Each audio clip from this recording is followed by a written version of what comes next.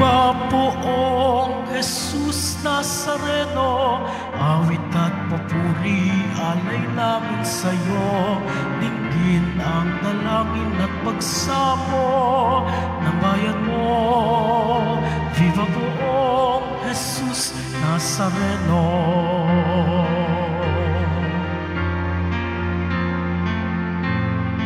Tayo ngayon ay mag-ibon at sambahin ang buon. Magdiwang tayo sa ating debosyon, purihin ang Panginoon. Viva poong Jesus Nazareno, awit at papuri, alay namin sa'yo. Dinggin ang dalangin at pagsamo ng bayan mo. Viva poong Jesus Nazareno.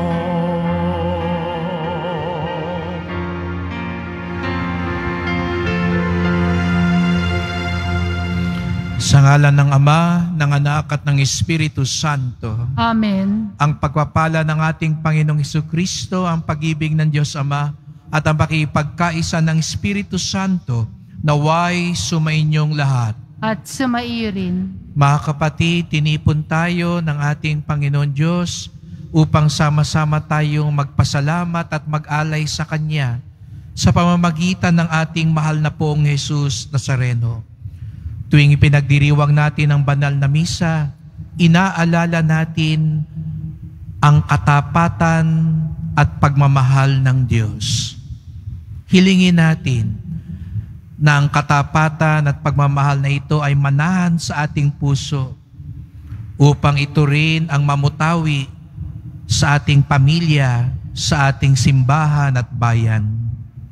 Upang tayo maging marapat gumanap sa banal na pagdiriwang, aminin natin ang ating mga kasalanan at humingi tayo ng tawad sa Diyos.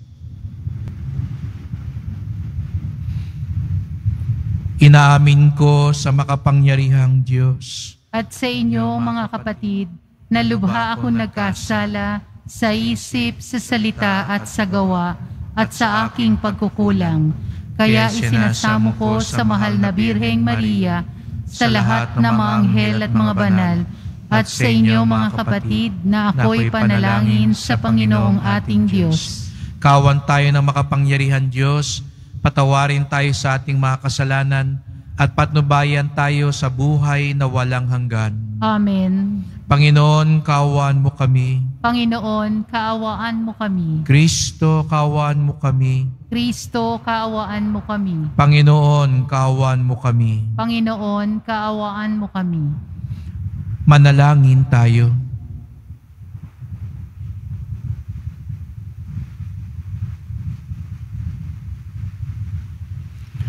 Ama naming makapangyarihan, niloob mong akuin ng iyong anak ang krus at kamatayan upang ang sangkatauhay matubos at mabuhay. Ang pag-ako namin sa krus at kamatayan dito sa lupa ayon sa diwa ng pagsunod sa iyong loob na ginanap ng iyong anak ay magpagindapat nawang aming kamtin ang lubos na katubusan at pagkabuhay sa iyong piling. Sa pamamagitan ni Yesu Kristo, kasama ng Espiritu Santo, magpasawalang hanggan. Amen. Magsiupo muna po ang lahat.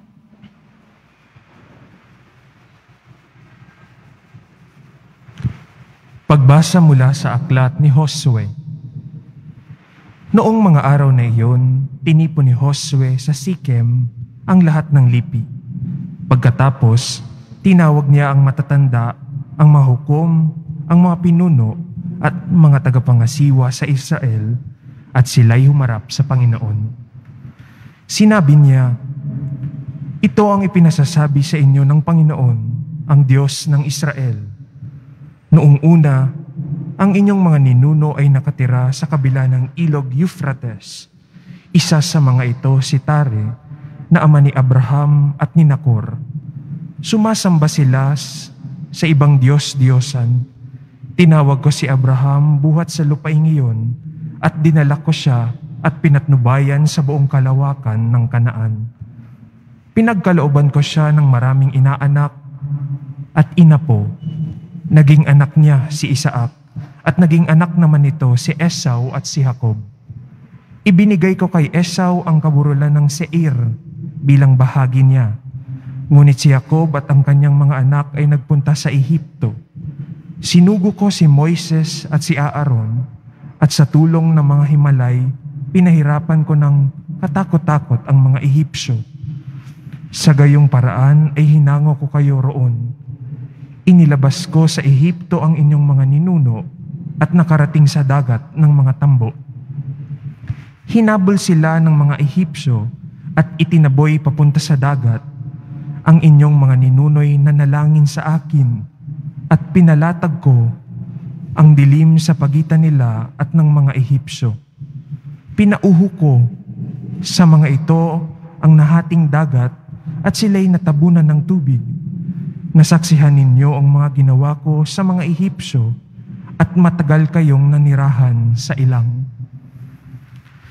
Pagkatapos, dinala ko kayo sa lupain ng mga Amoreyo sa silangan ng Hordan. Binaka nila kayo at pinagtagumpay ko kayo sa kanila. Pinuksa ko sila at nasakop ninyo ang kanilang lupain. Nilabanan kayo ng hari ng Moab, ni Balak na anak ni Sapor, at sinugo niya si Balaam na anak ni Beor, upang sumpain kayo. Ngunit hindi ko dininig si Balaam sa halip pinagpala niya kayo. Sa gayon, iniligtas kayo sa kamay ni Balak. Tumawid ako ng Hordan at sumapit sa Jericho. Nilabanan kayo ng mga taga Jericho at ng mga Amoreo, Perizeo, Cananeo, Heteo, Gergeseo, Heveo at Jebuseo at sila'y nalupig ninyo sa tulong ko. Ipinasalakay ko sa mga pukyutan ang dalawang haring Amoreo at pinalayas ko sila bago kayo dumating. Walang kinalaman sa pangyayaring iyon ang inyong mga balak at pana. Binigyan ko kayo ng lupain, hindi ninyo binungkal. Pinatira ko kayo sa mga bayang hindi kayo ang nagtayo. Kumakain kayo ngayon ng ubas at ulibo na galing sa mga punong hindi kayo ang nagtanim. Ang salita ng Diyos. Salamat sa Diyos. Ang pag-ibig ng may kapal ay tunay na walang hanggan. Ang pag-ibig ng may kapal ay tunay na walang hanggan. O pasalamatan ng Panginoong Diyos pagkat siya'y mabuti. Ang kanyang pag-ibig ay pangwalang hanggan at mananatili. Pinakadakilang Diyos ng mga, ng mga Diyos ay pasalamatan. Ang pag-ibig niya ay mananatili at pangwalang hanggan. Makapangyarihang higit kanino man itong Panginoon. Ang kanyang pag-ibig ay mamamalaging panghabang panahon. Ang pag-ibig ng may kapal ay tunay na walang hanggan. Nang mailabas na'y siya ang kasama habang nasa ilang, ang kanyang pag-ibig ay mananatili at pangwalang hanggan. Pinagpapatay niya yaong mga haring may kapangyarihan. Ang pag-ibig niya ay mananatili at pangwalang hanggan. Ang Maging mga haring bantog noon, una ay kanyang pinatay, ang kanyang pag-ibig ay hindi kukupas pang walang hanggan. Ang pag-ibig ng may kapal ay tunay na walang hanggan. Ang lupain nila'y ipinamahagi sa kanyang hinirang. Ang pag-ibig ng Diyos ay mananatili at pangwalang hanggan. Ipinamahagi niya sa Israel ang kanyang mga lingkod. Hindi kukupas at mananatili ang pag-ibig ng Diyos. Nang tayo'y masakop ng mga kaaway, pinalaya tayo. Ang kanyang pag-ibig ay mananatili, hindi magbabago. Ang pag-ibig ng may kapal ay tunay na walang hanggan. Magsitayo po ang lahat. Ah,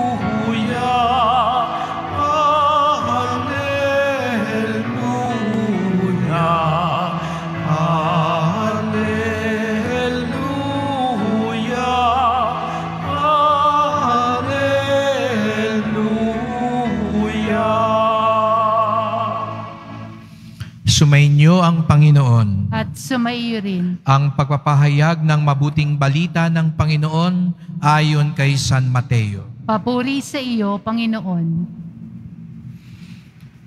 Noong panahong iyon, may mga pariseyong lumapit kay Jesus at tinangkang siluin siya sa pamamagitan ng tanong na ito.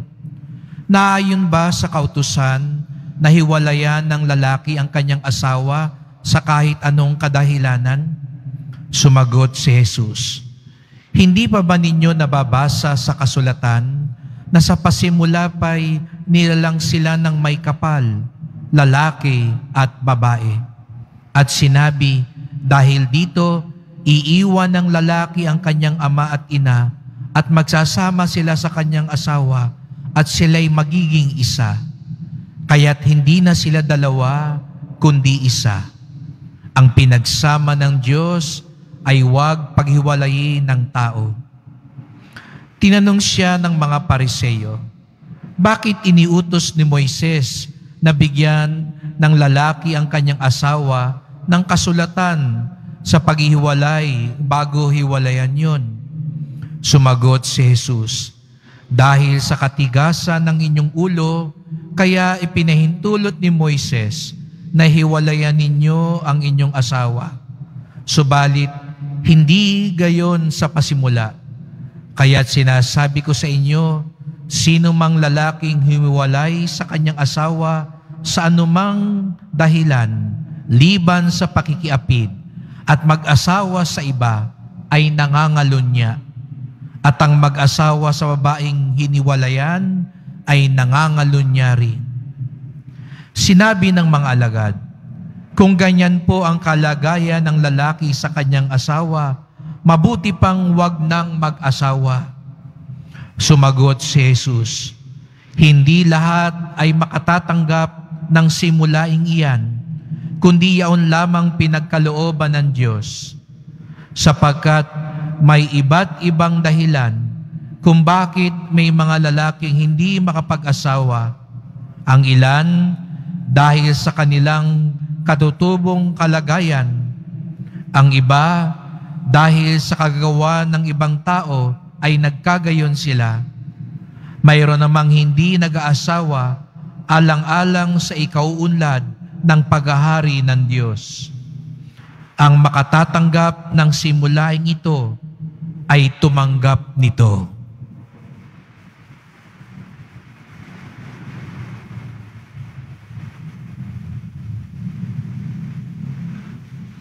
Mga kapatid, ang mabuting balita ng ating kaligtasan.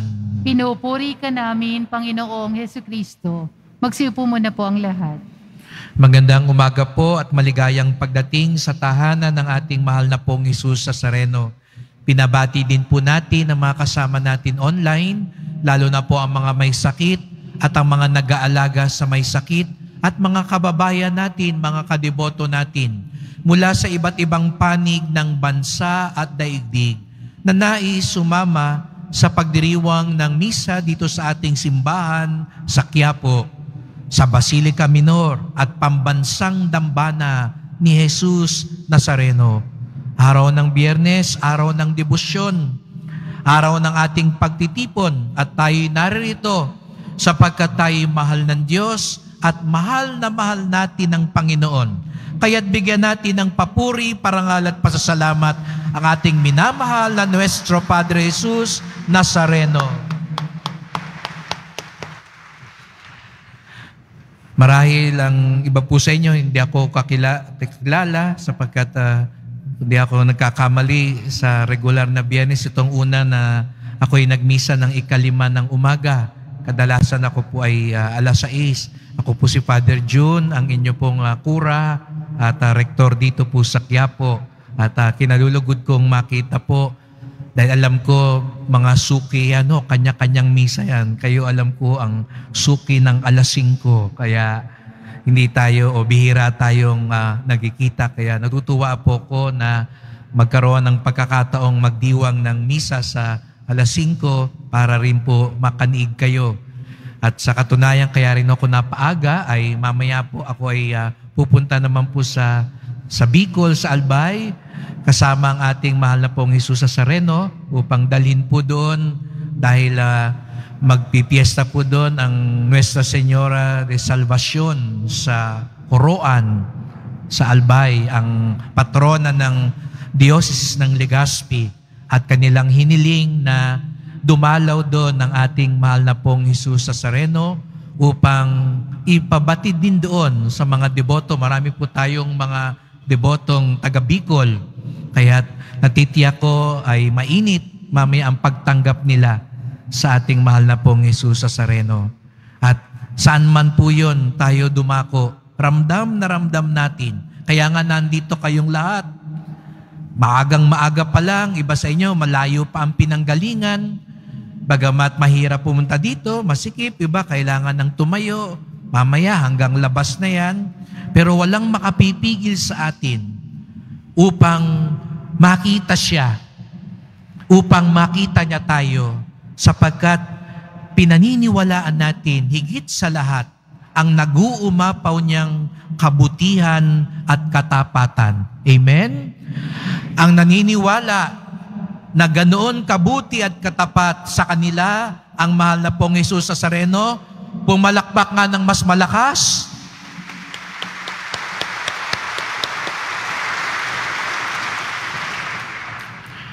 Meron daw isang teacher na nagtanong sa kanyang mga estudyante, bakit kailangang tahimik sa ospital? Nagtaas ng kamay yung isang bata. Sabi niya, Ma'am, kasi po kailangan tahimik. Maraming may sakit. Tama, sabi ng teacher. Maya maya nagtanong uli siya, bakit kailangan tahimik sa library? Ma'am, kasi marami ang nag-aaral. Kaya dapat tahimik. Correct. Bakit kailangan tahimik sa simbahan?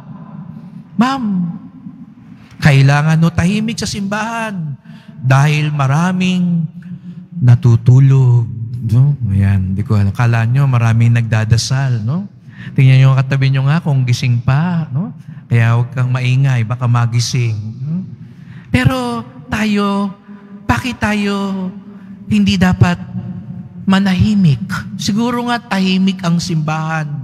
Pero ang tunay na Kristiyano, hindi dapat nananahimik.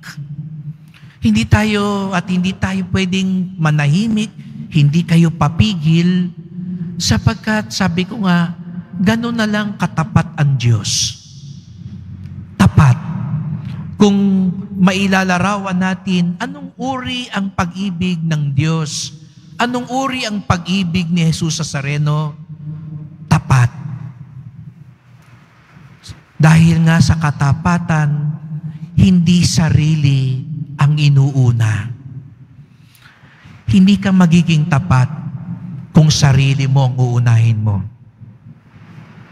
Ulitin ko po, pag sarili mo lagi ang uunahin mo, mahihirapan ka talaga maging tapat.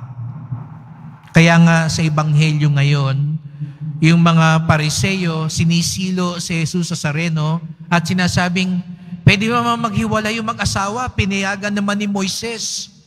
Pwede naman ng diborsyo. Pwede naman papalit-palit ng asawa. Pero ang sabi ni Jesus sa Sareno, hindi. Sapagkat ang pagmamahalan ng mag-asawa at sa bandang huli sinabi niya, hindi lang sa mag-asawa, may mga taong hindi mag-aasawa, katulad po namin mga pare at madre. May mga taong piniling maging single. Pero ang lahat ng mga ito, lahat tayo, tinatawag pa rin maging salamin ng pagmamahal ng Diyos. At ano raw ang pagmamahal ng Diyos? Sabi ko kanina, tapat. At bakit? Paano naging tapat? Dahil hindi sarili ang inuuna. Hindi ba't ganyan ang pagmamahal ni Jesus sa Sareno? Kaya nga, naaakit tayo sa Kanya. Kaya nga gano'n na lang kalakas ang debosyon natin sa Kanya. Kaya nga tiwalang tiwala tayo sa Kanya. At dumudulog tayo sa Kanya sapagkat alam natin nag-uumapaw ang Kanyang pagmamahal. Dahil kailanman hindi sarili niya ang inisip niya. Kung sarili niya ang inisip niya, baka hindi na siya bumaba mula sa langit. Ang sarap-sarap na ng buhay niya sa langit eh. Anak ng Diyos. Nakaluklok sa kanan ng Ama. Pero bakit siya naging tao? Bakit siya pumayag pasanin ng krus? Bakit siya nagpakahirap at namatay? Dahil hindi sarili niya ang inisip niya. Ang inisip niya ang ating kaligtasan. Kaya nga kumpiyansa ang kumpiyansa tayo sa Kanya. Alam natin hindi siya maramot. Alam natin mawain siya. Alam natin pag humingi ng tawad, patatawarin niya tayo. Alam niya pag humiling tayo ng tapat at bukal sa kalooban, ipagkakaloob niya sa atin. Sapagkat ang pag-ibig niya'y tapat. Sapagkat ang lagi niyang isinasaalang-alang, hindi ang kanyang sarili. Kaya nga mga kapatid, ito yung ipagdasal natin. Sana buksan natin ang puso natin para yung nag-uumapaw na pag-ibig galing kay Jesus sa Sareno, umagos sa atin. Sana mamaya, kung papaano natin, tinataas yung kamay natin pag nagwiwisik ng banal na tubig at gusto natin mabasa, gusto natin mabasbasan, hangarin natin na yung pag-ibig ni Jesus sa Sareno, yun yung dumaloy sa buhay natin para sa iyong asawa, sa iyong anak, sa iyong pamilya, sa iyong opisina, sa inyong samahan, sa iyong buong buhay, ang katapatan niya, ang pagmamahal niya, ang siyang mamayani. May asawa ka man o wala, pare, madre, maging bukas sapagkat yan ang pagtawag sa atin. Kaya nga, sabi ni Jesus Nazareno, ang makatatanggap lang nito ay yung pinagkalooban ng Diyos. Sapagkat ang ganong uri ng pag-ibig, tapat at hindi makasarili, hindi nanggagaling sa atin lamang yon. Hindi mo gugustuhin lamang yon. Hindi mo magagawa lamang yon. Yun ay biyaya ng Diyos. Kung nahihirapan ka ngayong magpatawad, nahihirapan ka ngayong maging tapat sa asawa mo, nahihirapan ka ngayong gumalang sa magulang mo, nahihirapan ka ngayon magsakripisyo sa pamilya mo, buksan mo ang puso mo at hilingin mo sa mahal na pong Isus sa Sereno, ibuhos niya sa iyo ang kanyang pag-ibig. Buksan mo maging bukas ka lang. Sapat na yon. Siya na ang magbubuhos ng kanyang biyaya. Kaya nga ang tawag daw nga sa pag-aasawa, sa pagpapari, pagmamadre, at pagiging single blessed, bukasyon. Bakit bukasyon? Ito'y pagtawag, boka, pagtawag galing sa Diyos, biyaya ng Diyos. At sabi ko nga kanina, bukas. Buksan mo lang ang puso mo ng tapat. Bahala na ang Diyos sa iyo. Pagdasal natin ang bawat isa na tayo'y maging tapat sa ating bukasyon. Pagkaloob sa atin ng biyayang ito. Kaya sama-sama po tayo magdasal. Tingnan natin ang ating mahal na pong Jesus Nazareno. Mahal na pong Jesus Nazareno, naririto naman kami, inyong mga alagad, nagmamahal sa inyo. Sa tuwing nakikita namin kayo, naaalala namin ang katapatan, ang nag-uumapaw na pagmamahal ng Diyos na hindi sarili ang iniisip. Kaya nga't kami tumatanaw ng utang na loob. Kaya nga't binubuksan namin ang aming puso sapagkat hindi namin matutularan ang pag-ibig na yan sa ganang amin lamang. Kaya nga't mahal na pong Jesus sa Sareno, pagpalain niyo po ngayon ang mga mag-asawa, lalong-lalo na yung hindi nagkakaunawaan, yung mga natutukso, yung mga nadarapa, lalo na sa pangako ng katapatan. Tulungan niyo po ngayon ang mga pamilyang dumadaan sa pagsubok, lalong-lalo na dahil sa kahirapan. Tulungan niyo po kami kapag kami nalalayo sa inyo dahil sa kasalanan. Nais naming maging tapat katulad niyo. Kaya't binubuksan namin ang aming puso at kalooban upang ang iyong pag-ibig at biyaya ay dumaloy sa amin. Mahal na pong Jesus Nazareno, kaawaan niyo po kami. Basbasan niyo po kami. Amen. Amen.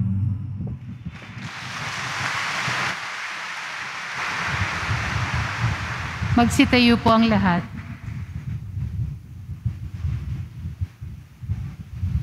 Mga kapatid, nakikilahok sa paglikha ng Diyos ng bagong buhay ang mga asawa at may bahay.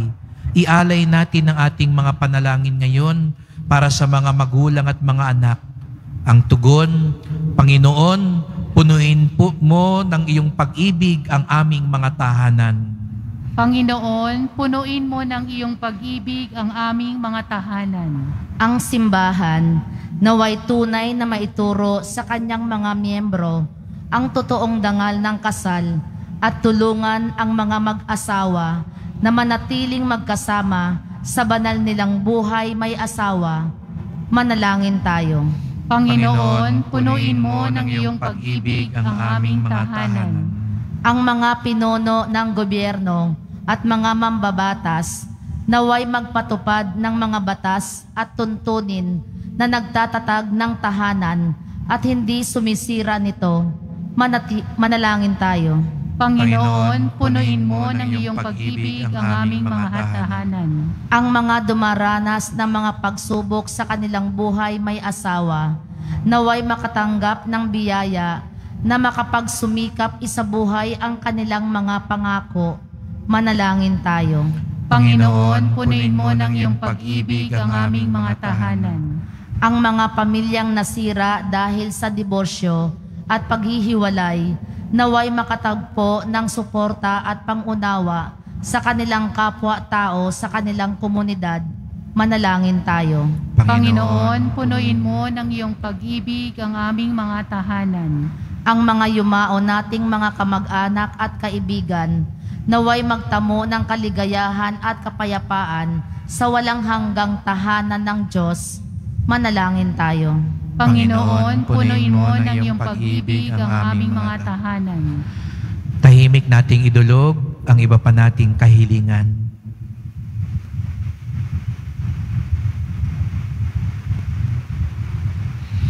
Diyos ng pag-ibig, nilikha mo kaming lalaki at babae upang ipagpatuloy ang iyong gawaing lumikha. Ang pagmamahal namin sa isa't isa'y naway sumalamin sa iyong pananahan sa aming buhay. Hiling namin ito sa pamamagitan ni Kristong aming Panginoon. Amen. Magsiupo muna po ang lahat.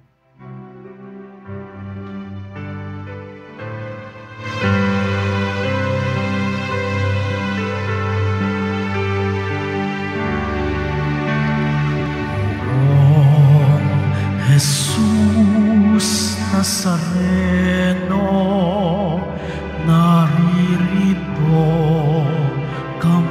sa harap mo.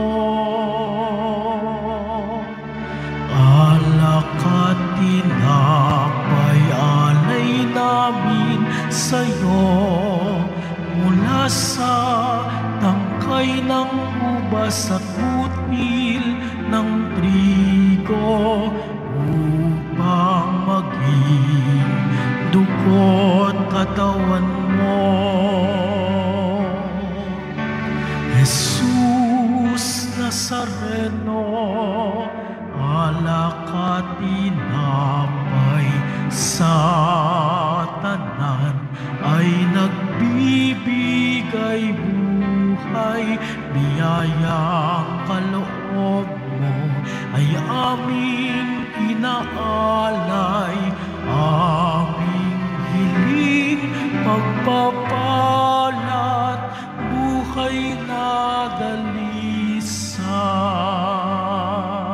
Magsitayo po ang lahat. Manalangin kayo mga kapatid upang ating paghahain ay kalugdan ng Diyos amang makapangyarihan.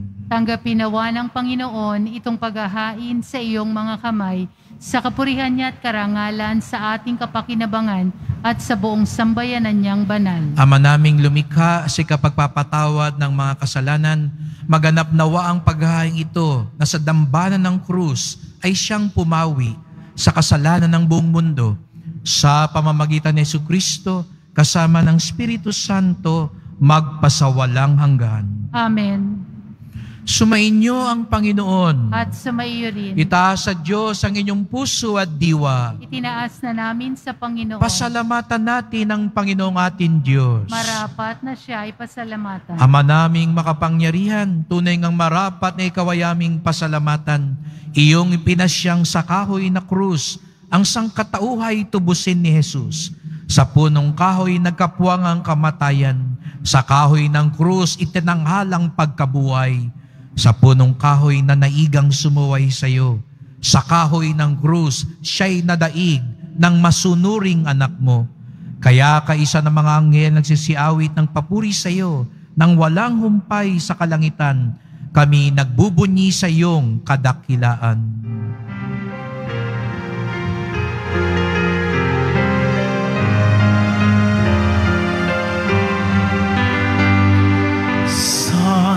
Santo, Santo, Panginoong Diyos ng mga hukbo. Napupuno ang langit at lupa ng kadakilaan mo. O sana, o sana, sa kaitaasan, pinagpala ngalan ng Panginoon. O sana, o sana, sa kaitaasan.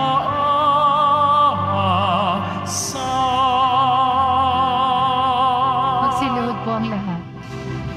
Tuwing tayo nagsisimba, inaalala natin ang tapat na pagmamahal ng Diyos. Buksan natin ang ating puso sa Kanya. Ama naming banal, ikaw ang bukal ng tanang kabanalan. Kaya sa pamamagitan ng iyong Espiritu, gawin mong banal ang mga kaloob na ito upang para sa amin maging katawan at dugo ng aming Panginoong Heso Kristo. Bago niya pinagtiis ang kusang loob na maging handog, hinawakan niya ang tinapay, pinasalamatan kanya. Pinaghati-hati niya yon, iniabot sa kanyang mga lagad at sinabi, Tanggapin ninyong lahat ito't kanin. Ito ang aking katawan na ihahandog para sa inyo.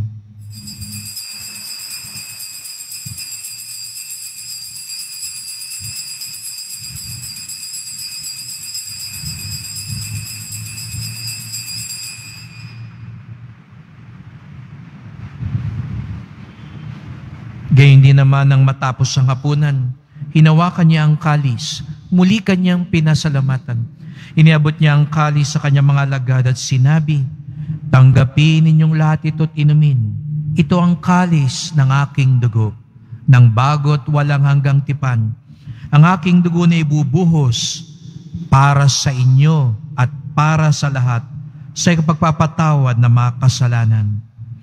Gawin niyo ito sa pag-alaala sa akin.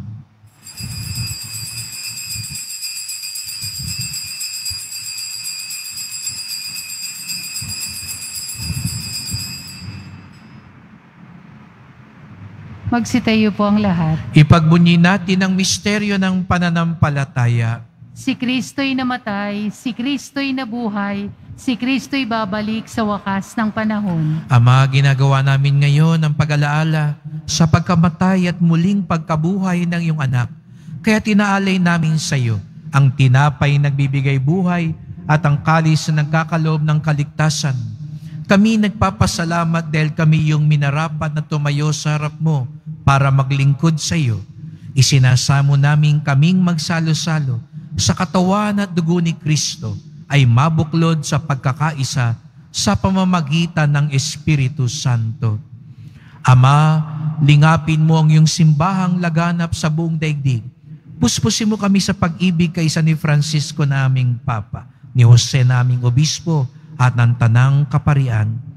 Alalahanin mo rin ang mga kapatid naming nahimlay na may pag-asang sila'y muling mabubuhay. Gayon din ang lahat ng mga pumanaw. Kawan mo sila't patuloyin sa iyong kaliwanagan. Kawan mo't pagindapating kaming lahat na makasalo sa iyong buhay na walang wakas. Kaysa na mahal na Biring Maria, Ina ng Diyos, ng kabiyak niyang pusong si San Jose, si San Juan Bautista at lahat ng mga banal na namuhay dito sa daigdig ng kalugod-lugod sa iyo, may pagdiwang nawa namin ang pagpupuri sa ikararangal mo sa pamamagitan ng iyong anak na aming Panginoong Heso Kristo. Sa pamamagitan ni Kristo, kasama niya sa Kanya, ang lahat ng parangal at papuri ay sa iyo, Diyos amang makapangyarihan, kasama ng Espiritu Santo, magpasawalang hanggan.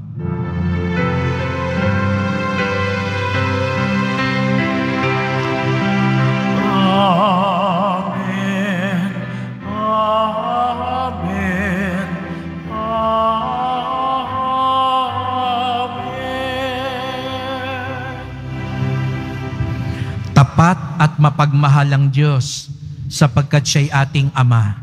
Kaya sama-saya tayong tumawag at umawit sa ating Ama sa langit.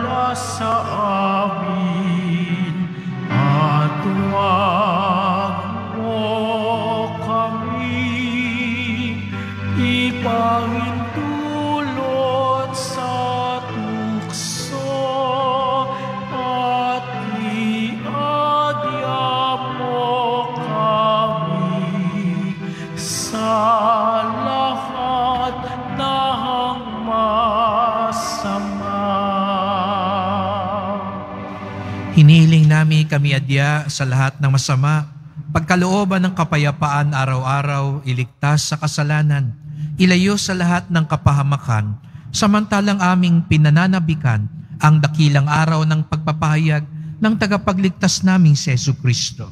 Sapagkat iyo ang kaharian at ang kapangyarihan at ang kapurihan magpakailanman. Amen. O Panginoong Iso Kristo, sinabi mo sa iyong mga apostol, at ngayon sinasabi mo sa amin lahat dito, kapayapaan ang iniiwan ko sa inyo. Ang aking kapayapaan ay binibigay ko sa inyo. Tunghayan niyo pong aming pananampalataya, wag pong aming mga kasalanan. Patawad po kung kami hindi nagiging tapat sa aming asawa, sa aming pamilya, sa aming trabaho, At higit sa lahat, patawad po kung hindi kami nagiging tapat sa iyo, Panginoon. Linisin niyo po kami. Pagkalooban niyo po kami ng kapayapaan at pagkakaisa ayon sa iyong kalooban, kasama ng Espiritu Santo, magpasawalang hanggan. Amen. Ang kapayapaan ng Panginoon ay laging sumainyo. At sumaiyo rin. Magbigayan tayo ng kapayapaan ni Kristo sa isa't isa.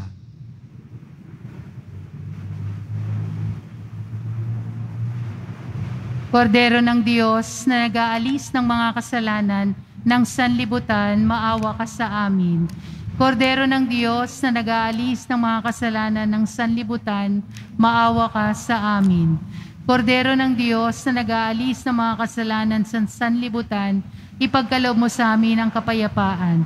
Magsiluhod po ang lahat.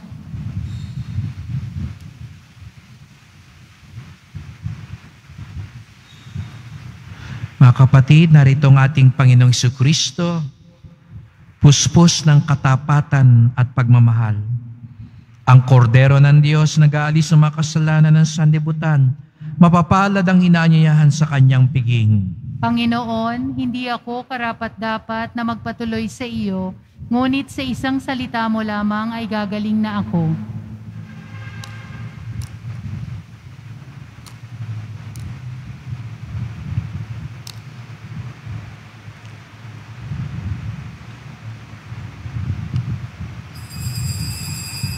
Para sa lahat ng tatanggap ng banal na komunyon, sasagot po tayo ng amin.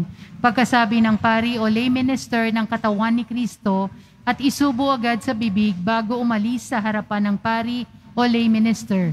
Sumunod po tayo. Maraming salamat po.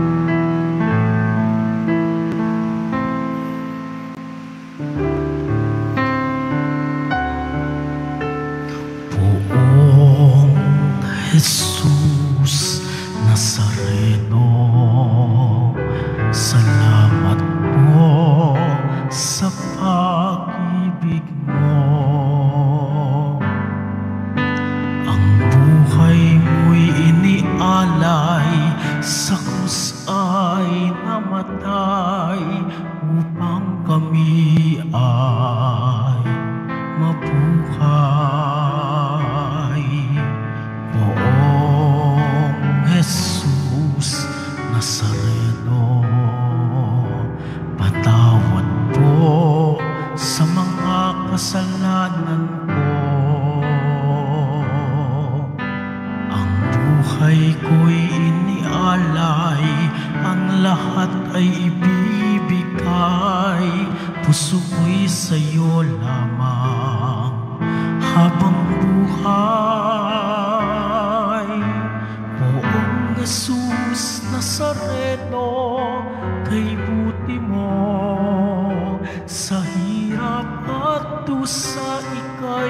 Kasama ko. Ang samo ko at dasal sana'y pakinggan mo nang na mga paghihirap ko. Poong Jesus Nazareno,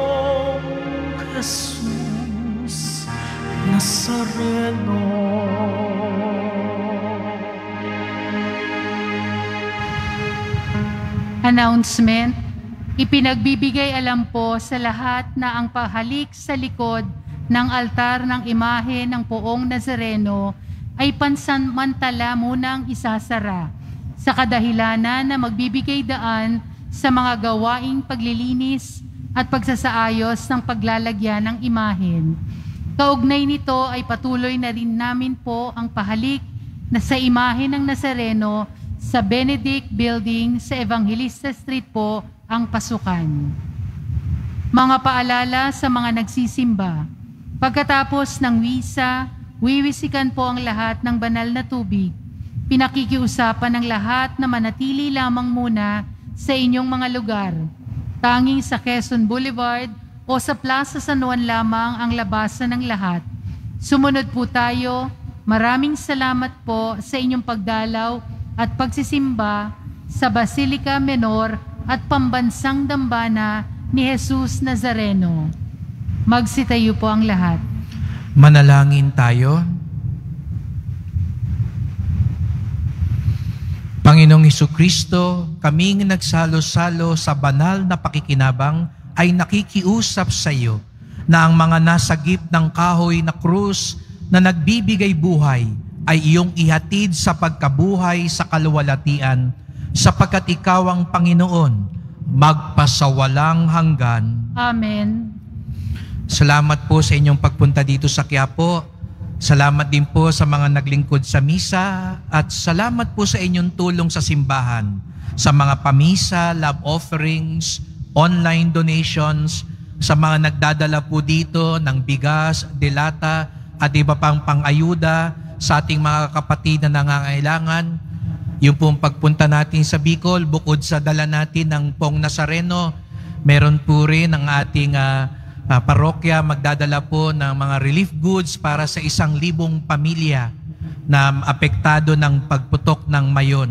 Sapagkat ang debosyon natin sa poong Nazareno, hindi lang tayo tinuturuang magdasal, tinuturuan din tayong magmalasakit at tumulong sa ating kapwa.